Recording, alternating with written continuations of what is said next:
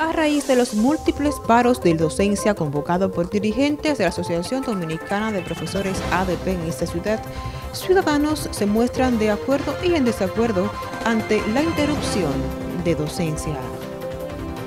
Exigen mucho, los profesores eh, exigen mucho. Ahí quienes salen pidiendo son los niños, nosotros los, padres de familia, los que tenemos hijos en la escuela pública.